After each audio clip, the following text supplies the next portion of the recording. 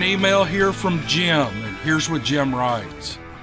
It was not quite daylight on an early summer morning in the mouth of the Ch- oh, I'm never going to pronounce this right. It's Co- Coca- Coquihalla, Coquihalla and Fraser Rivers in Hope, British Columbia. The tributary was taking on water because the Fraser was high and the salmon were running. The river had quite a few dying salmon that were spawning. I was there to take pictures of the wildlife, so I pulled out my small director's chair and sat quietly at the mouth. You have a director's chair? I want a director's chair. How do you get one of those? Across the river was a game trail where I have seen mule deer, whitetail, coyotes, and even the odd bobcat in the past, and I was sure I'd have luck that day. The sun was just beginning to creep over Mount Ug, Og, Og, Ogle, Ogilvie, Ogilvie, when two coyotes 75 yards away from me began yipping. It's not unusual to hear coyotes up there, but they sounded frantic, like dogs when a stranger has come into your yard. Curious, I looked over in the direction where they were yipping. Squatting down in the long grass at the water's edge another fifty yards beyond them was a huge figure. At first, I thought it was a bear. Then it turned its attention on me and it stood up on two legs. A cold chill shot up my spine as the hair on the back of my neck stood on end, and I was frozen in shock, staring at a massive male Sasquatch. Behind him were some alder saplings that were roughly eight feet high they came up to his chest, and he was covered in dirty blonde colored hair, and he had a dome shaped head and a very human looking face. His nose was a bit wider than a man's, and it looked like he didn't have a neck. We stared at each other for a good twenty seconds before he let out an unbelievably loud scream that was strangely high pitched for something that large. I'll never forget the look of disgust he gave me before he did something totally unexpected. He began talking, for lack of a better word, in some sort of gibberish that was a mix of high and low tones. And then he grunted and raised his hand and flung it at me as if to say, Leave me alone. I noticed he had a salmon in his other hand. His annoyance with me and his hand gestures were so human that I relaxed a little bit. He turned and started walking away, and from behind I could see that he was wide in the shoulders and he was lean in the waist. I guessed him to be eleven hundred pounds. I've seen big bears and he dwarfed them. His strides were six feet each, and every step as he casually walked away from me, he'd turn and look back over his shoulder. It reminded me so much of the Patterson Gimlin film. He looked just like Patty, but without the breasts. He looked back at me one last time and he stopped and flung his hand at me in annoyance again, and then he stepped into the bush. Clearly, he was angry that I interrupted his meal and he scolded me for it, but I was in awe throughout the whole experience. That is a great story. That's like a recreation of Patty, but closer. It's like closer. He's sitting in his director's chair. At, y'all, I know what a director's chair is. I just thought it was kind of funny, like he was sitting down about to direct a film, but they sell director's chairs at Sam's, and I actually almost bought one one day because they have a little table on them. I thought that'd be a good place to put my drink and whatever else I'm carrying at the time. Anyway, this is a great story, and I really appreciate Jim for sending it. Uh, he's a good writer, and it's great. It's really great. Thank you. Hey, y'all, thanks for joining me on this podcast. My name's Cameron Buckner, and this is the Dixie Cryptid What If It's True podcast. Got several stories in this video. Hope you guys enjoy them. If for any reason anyone is dissatisfied when it's over, if you'll just leave a comment below, I'll refund your money in full. That's right. This is the podcast where if you're not totally happy when it's over, we'll give you your money back. All right, let's get into these stories. Hope you enjoy them. All right, here we go.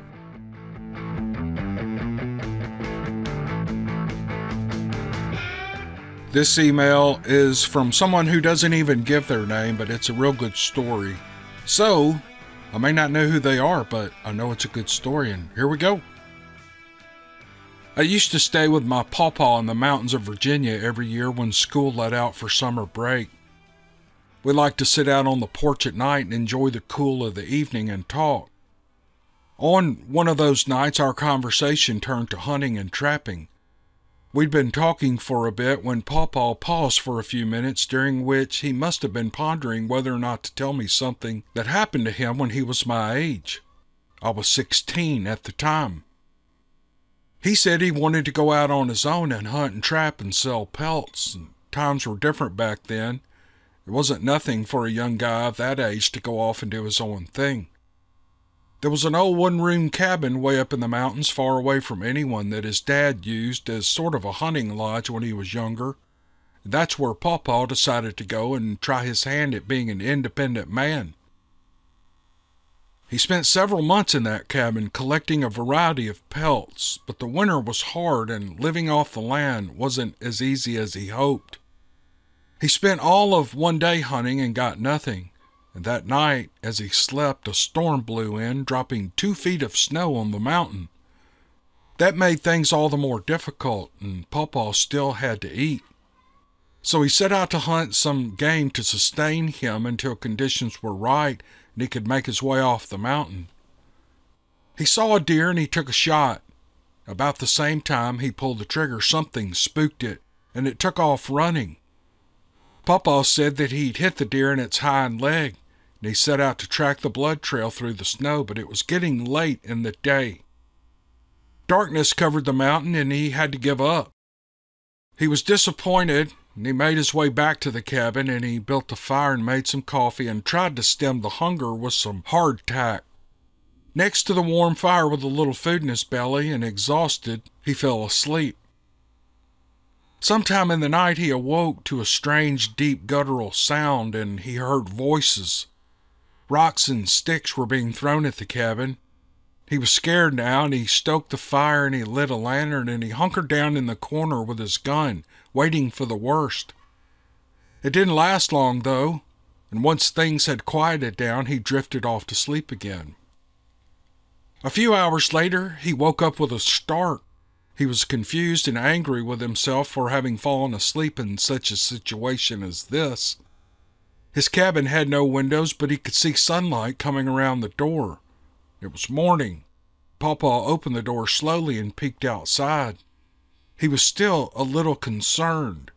And when he didn't see anything, he stepped outside to find footprints in the snow all around the cabin. They were giant human tracks, he called them. Judging by the size and the number of tracks, he guessed there must have been two or three individuals. He went around to the side of the cabin to grab some firewood before going back inside, and there, laying on top of the wood, was a hind leg of a deer. It had a single bullet hole right where Pawpaw had shot it. Whatever those things were that scared him half to death the night before had tracked the deer that he had shot and took their share for tracking it, and then they gifted Pawpaw the hind leg.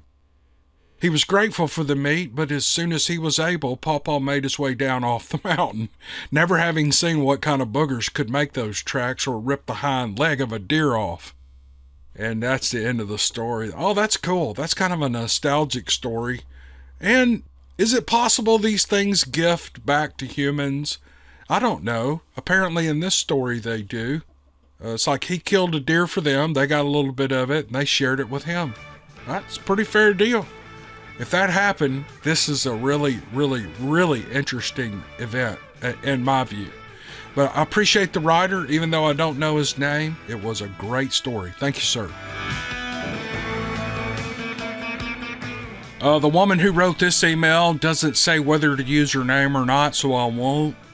We were living in the country north of Warsaw, Indiana in 2012. I was 14 at the time and enjoying life as only a teenager can. We lived in one of those small residential neighborhoods pocketed in the woods with our house sitting closest to the tree line. Those woods were our retreat as kids. I would head off there with my siblings and friends, or all by myself and explore and play, or just to relax and think. It was quiet there, and we all spent a lot of time in those woods during the day, but we never did at night. That summer, I was sleeping in the back bedroom with the window open to catch a breeze, and something walked past my window. I didn't see it, but I could tell by the sound of its walk that it was massive. I would have thought it was a bear, but we don't have those in Indiana, and it scared me so bad that I ran and got my father. He took his gun and went outside, but he didn't find anything. A few months later, my sister and I were sleeping in that same bedroom. Like typical teenagers, we were talking when we should have been sleeping. At 2 a.m., suddenly we heard some exotic bird calling. We figured it must have been some exotic bird. We spent most of our free time in the woods and we knew all the bird sounds in our area, and we could not identify this one. It became a regular occurrence after that. Sometimes it was just one bird calling, and other times we'd hear one call and another answer back from the opposite direction. It was always close to the house and it was always loud. I remember asking my sister, Have you ever heard a bird like that? She said she hadn't. We knew it wasn't an owl, and we didn't know of any other night birds in our area. None that could make a call that loud anyway. I've never heard birds chirping or calling that late at night as well. And this sound, well, it was off.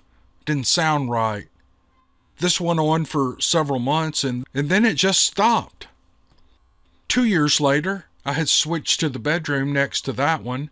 My sister and I were sharing it. We liked to leave the windows open at night so we could hear the sounds of crickets and frogs. And the cool air felt nice. We'd close the curtains for privacy, but that didn't stop the breeze. It was summertime again, and that meant we were taking advantage of our freedom from school by sitting up and talking all night. We'd also sneak out to meet friends, or they would sneak up to our window to visit us. That was another reason we liked to leave the windows open. We shared a bunk that was placed right next to the window, and I slept on the bottom so I was better able to see outside. That window faced a dead end road that we lived on, where a dimly lit street lamp barely lit up the yard. It cast a low glow on the window. My sister and I had stayed up talking as usual, but around 1 a.m. she drifted off, so I was lying there looking out at the night. Out of nowhere, I began to hear something walking around the side of the house from the woods. My first thought was that it was some random person cutting through our yard. Or maybe it was an annoying raccoon that had been getting into our trash. But the sound of the footsteps were distinct and heavy. It walked up to my window and it stopped right in front. Backlit by the street light, its shadow fell across the curtains. Whatever was out there, it was huge. It had the outline of a very tall man. Unfortunately, shadows are never more detailed than that. I didn't feel like it would hurt me, but I did feel the need to lie very still and be quiet. It was as if it were listening for my breathing or my movements. I was too afraid to look out the window. I didn't want to see what was out there. I couldn't bring myself to go get my dad because I couldn't leave my sister alone in the room, and nothing but a scream between her and that thing. I never heard it breathe or move. It stood there staring at the window for a minute or two, and then it moved away, back toward the woods. It took me a few minutes to get up the courage to close my window. I'd have to open the curtain to do so, and I was afraid of what I might see. I replay that night over and over in my head all the time, and each time I hear myself asking the same question again and again What just happened? That was the last strange occurrence I had at that house before we moved. I never actually saw anything, but after some experiences in Tennessee and an experience my cousin had in northern Idaho, I'm a true believer in monsters.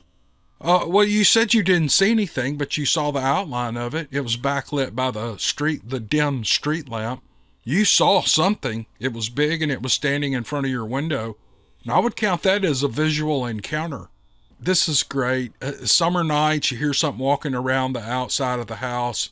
You know, no one is supposed to be out there.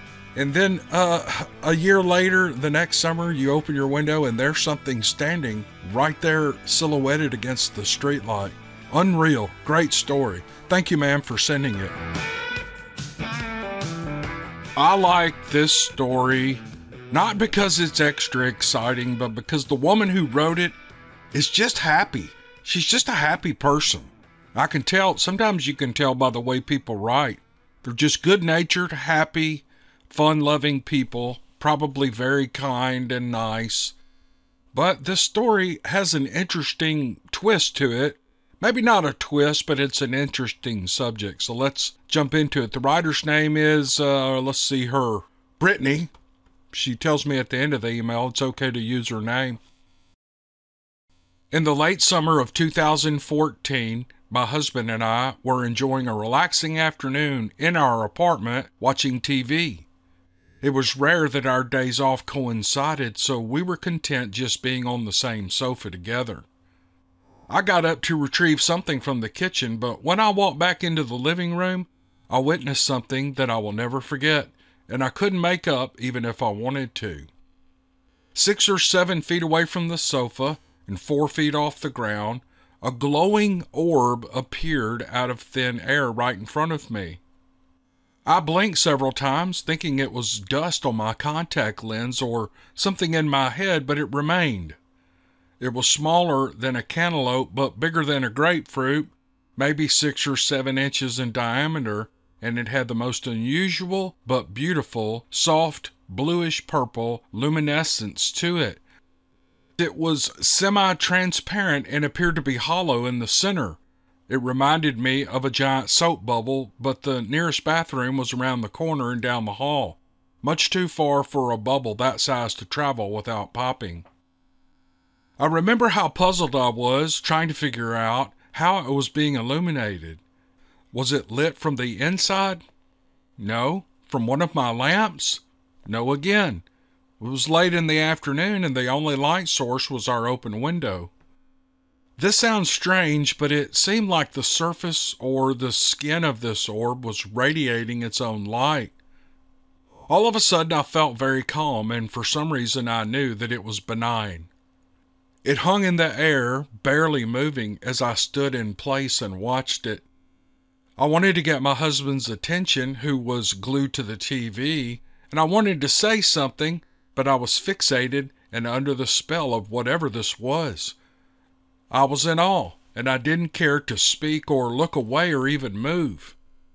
Even though I had the urge to reach out and touch it, I was worried it would disappear at the slightest disturbance. Mentally, I was begging my husband to look over in my direction to concur with what I was seeing, if not also have the chance to see something truly awesome, but to no avail. Within 10 seconds, the orb vanished into thin air just as quickly and randomly as it had appeared. It didn't pop or implode, it simply disappeared like someone turning off a light switch. My feet were glued to the floor, and I turned at the hip toward my oblivious husband. Please tell me you saw that, I said excitedly. He finally looked up and gave me a look that read, Huh? The the, that orb thing, do you didn't see it? I said. I stammered and almost irritated with him for not noticing. He looked at me like I was crazy until he read the expression on my face. Baby, what did you see? He asked, half suspicious and half concerned. I told him everything I just relayed to you, and he went through the same rational checklist I had. Was it a soap bubble? Was it just the light? No, no, no were the answers to all the sane and reasonable possibilities he offered. My husband knows that I am an eccentric person, but an honest one too, and I firmly believe in karma, so he believed me and he still does. However, neither of us can accurately or definitively identify what I saw. This experience heightened my fascination and jump started my study of this anomaly and I have come to find that people all over the world have seen these orbs for centuries. Accounts vary, as do the descriptions. They can be any size, any color, and some are even mobile and recurring. Another interesting point is that most of these sightings take place in energetically charged locations where other supernatural sightings have occurred. There are hundreds of photos of these online, but much like any paranormal or supernatural phenomenon, It's hard to obtain scientific and physical proof, so we have to rely on first hand accounts like this. I don't mind if you use my name or not because I have nothing to lose or gain by telling my story. It was just a really amazing but true event that happened to this witness. I still have no idea what these orbs are, or where they come from, or what they mean. Either way, it was a beautiful materialization of energy, and I feel privileged to have seen it.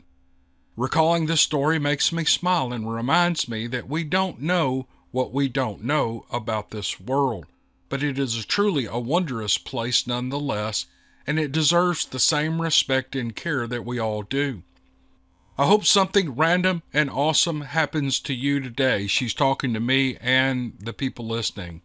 Thank you for your time and your wonderfully eye opening channel. Okay, she's going to talk about all that. Uh, what I thought was the, the reason I pulled this story up and read it was because Brittany said, I hope something random and awesome happens for you today.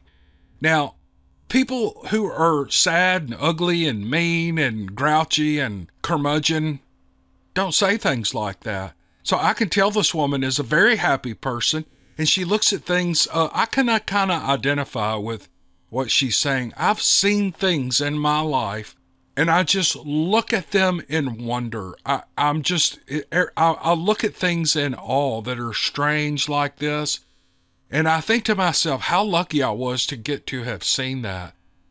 I've talked about a few of those things in some of my podcasts, and none of them are spectacular, but even the slightest unusual, beautiful light, or uh, it could even be a sunset or a group of geese lighting in a field, or being buzzed by 20 wood ducks right at the end of the day when they're coming in to roost, or watching a big bass bust the water. I could go on and on and on. The last six days, as I ride through the woods with my dogs, I have seen deer up close five out of six days. I didn't see them today, uh, but the previous five days, it's like I almost know they're there and I know where to look and they're.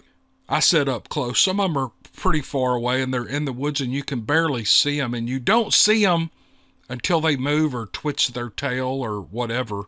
They have to move for you to see them or you will not see them. But uh, I, I don't know. There's something going on right now. And I'll be riding down a lane or through one of these old logging roads and something will tell me to look to the left. And maybe it's God. Maybe he knows I like looking at wildlife and he's just saying, look to your left. There's a couple of my deer over there. Take a peek. So I'm I'm I'm kind of the same way this woman is. I look at everything. Uh, I don't know with young eyes. I'm 60 years old. I'm getting older, but I try and I think I look at everything with young eyes. So maybe that's a good motto for for today, or something to tell yourself throughout the week. Is just say, I want to look at things with young eyes, like a kid. And when you see something, just look at it. If it's a puppy, if it's a dog, if it's a child, if it's your wife, it's whatever, look at those things like a child and have those childlike experiences.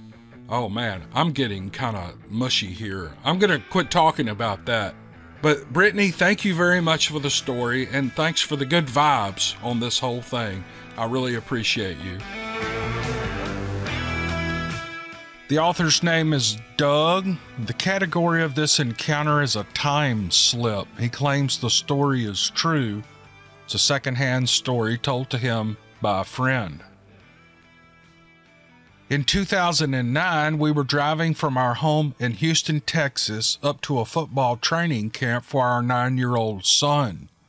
The camp was located in Austin, normally a two to three hour drive west.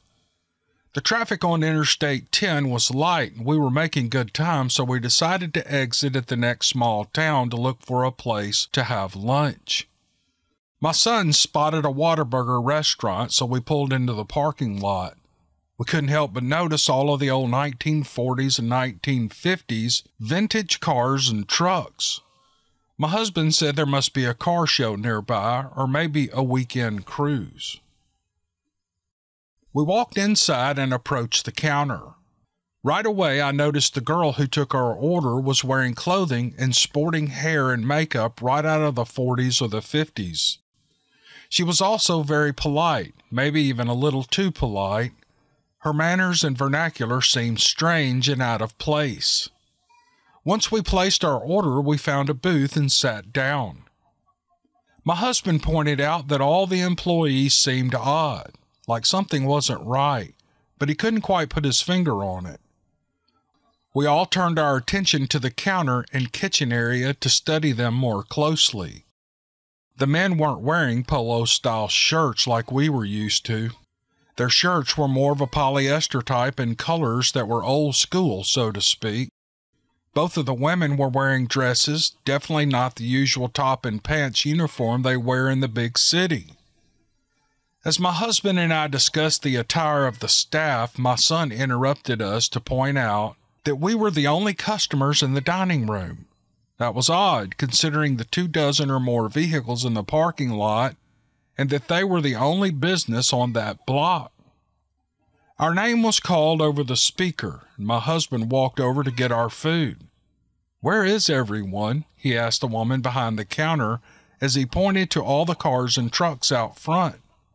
She looked at him and then out the window and then back at him as if she didn't understand what he meant.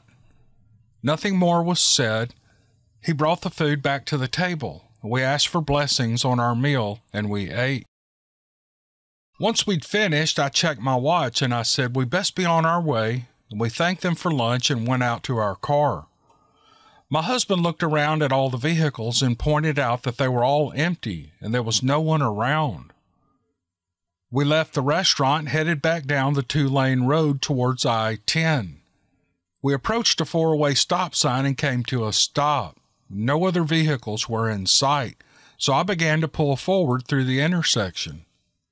Suddenly, I spotted a flash of turquoise to my right.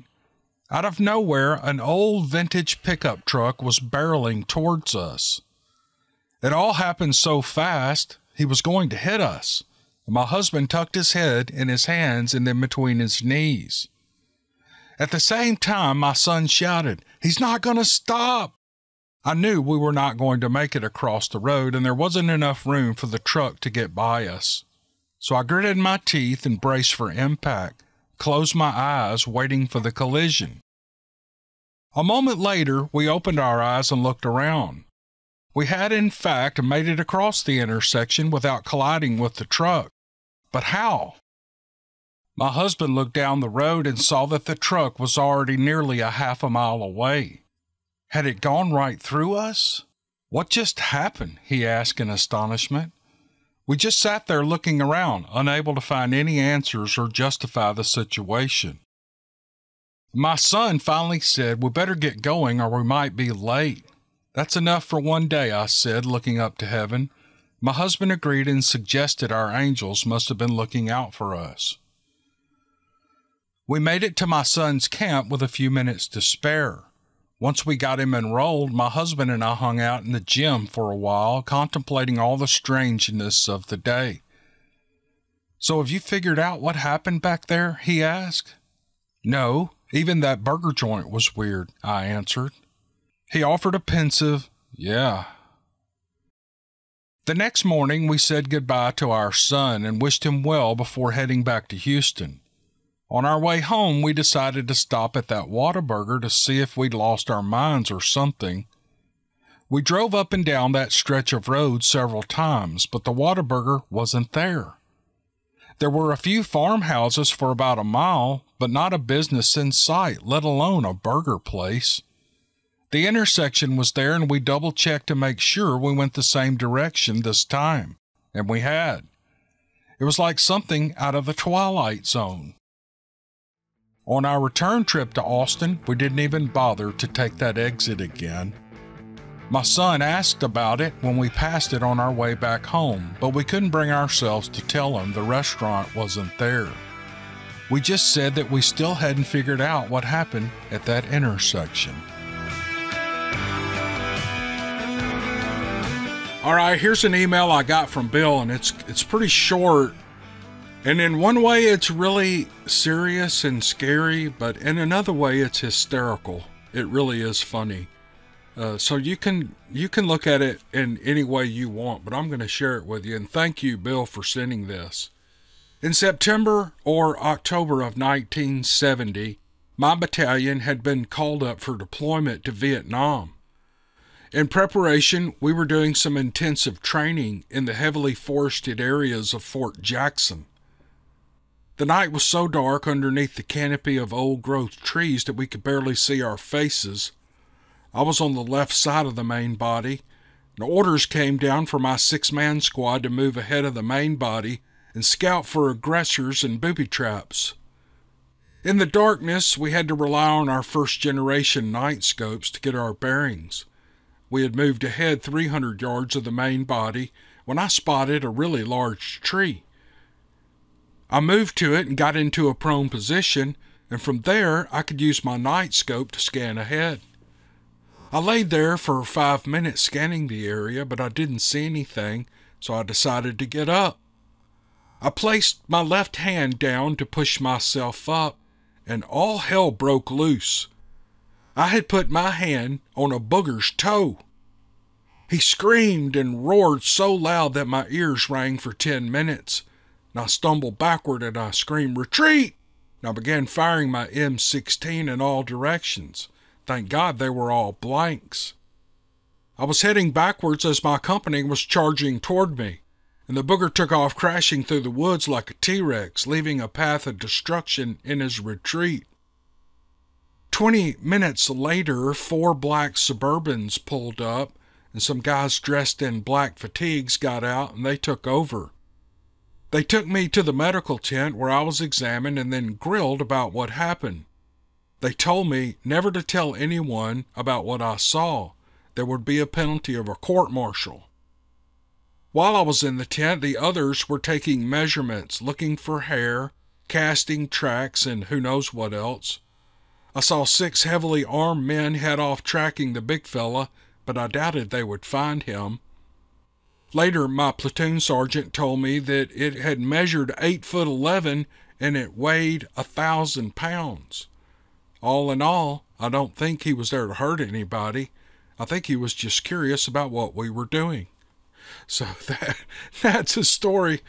You can tell that's scary. Yeah, that's scary in one way. I know this guy was like I mean, when when a trained soldier or marine or somebody who's got combat experience just jumps up and starts firing their weapon in all directions, uh, they're either real jumpy and green, in other words, not trained really well, which I think this guy was trained really well, or they're startled so much and they anticipate some type of impending doom that they just start shooting out of desperation, and it looks like that's what this guy did. Now, I'm not an expert on these things, and who knows? Who knows why? But in another way, you can look at it as kind of a funny thing. I mean, if you could kind of step back and look at it like you're watching a movie, that'd be kind of funny. But at either rate, Bill, thank you for the story. It's really good. I like the way you put it together, and I don't know if you meant it to be funny, but it was great. It was really great. Thanks. Thank you for joining me on this podcast. Maybe you can give me a thumbs up or even subscribe and hit the notification bell. I would appreciate that. And until the next one, hope you guys have a good week. We'll see you then. All right, thanks.